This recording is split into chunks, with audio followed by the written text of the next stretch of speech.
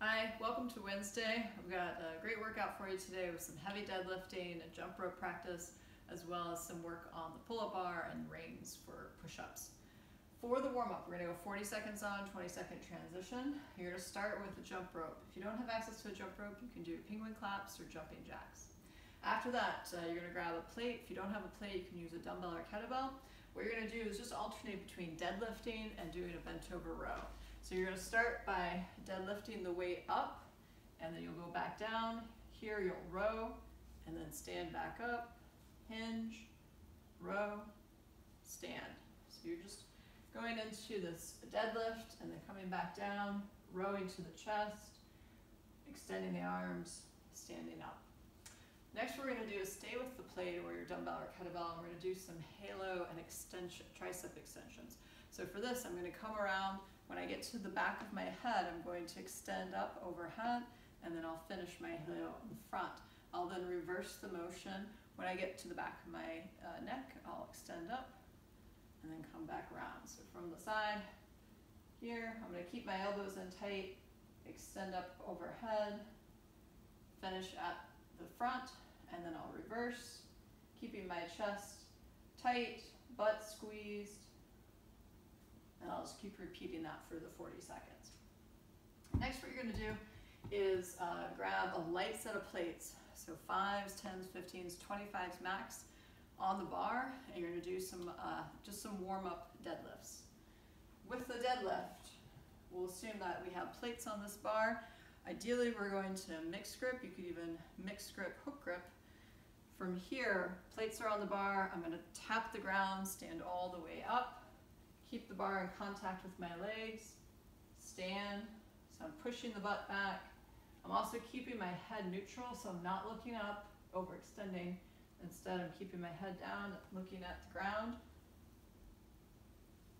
If you're at home, what I want you to do is use your uh, dumbbell or kettlebell. You're gonna be between the feet, shoulders back, butt back, and you're just gonna grab the weight, stand all the way up. Tap, Uh, next we're going to do is a plank to push up to downward dog. So for this I'm going to get my hands set up underneath my shoulders in this plank position here.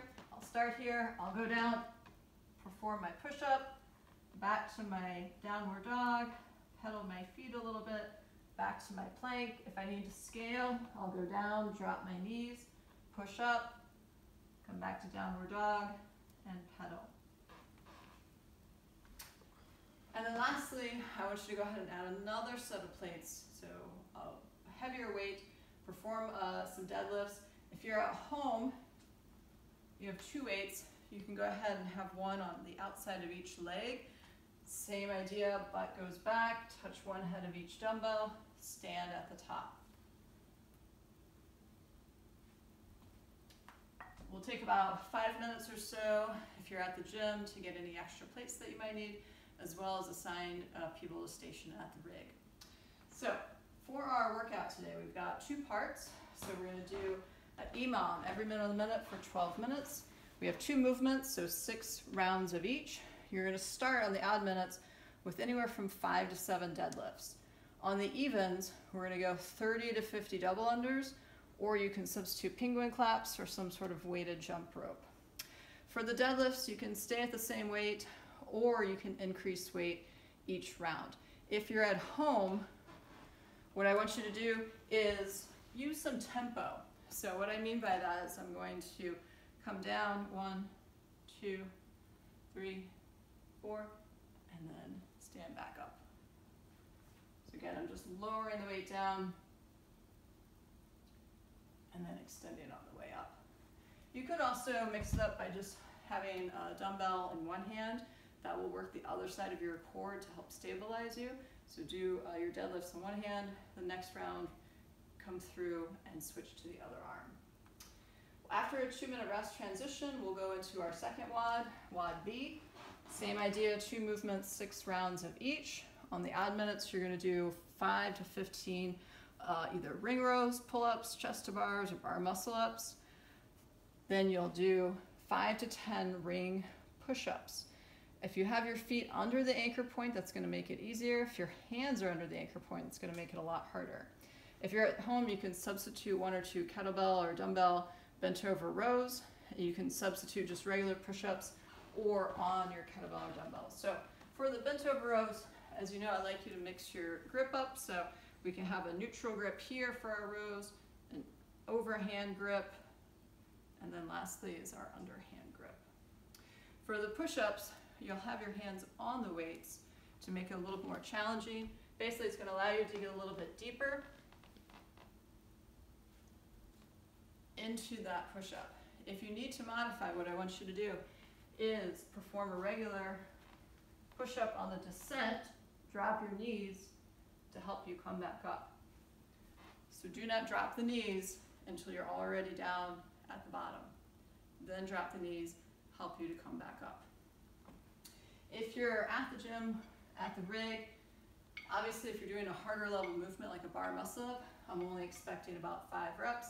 If it's easier, you know, uh, in terms of skill, maybe a ring row or pull up, maybe we're in that 10 to 15 rep range.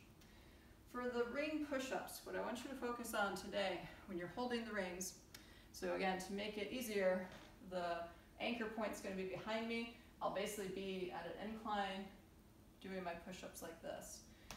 To make it harder, the rings are attached to the anchor here. I'll basically be all the way in a plank position doing my push-ups.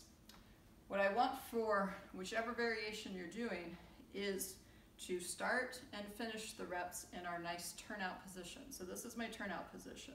What I don't want is for you to be internally rotated and pushing like this the entire time. Instead, we're gonna start externally rotated, turned out. As we descend down, then we'll rotate the rings into a neutral position.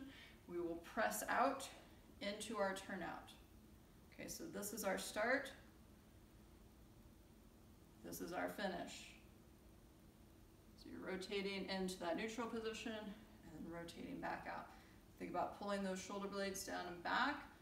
Don't get hunched over. Okay, that's not what we want.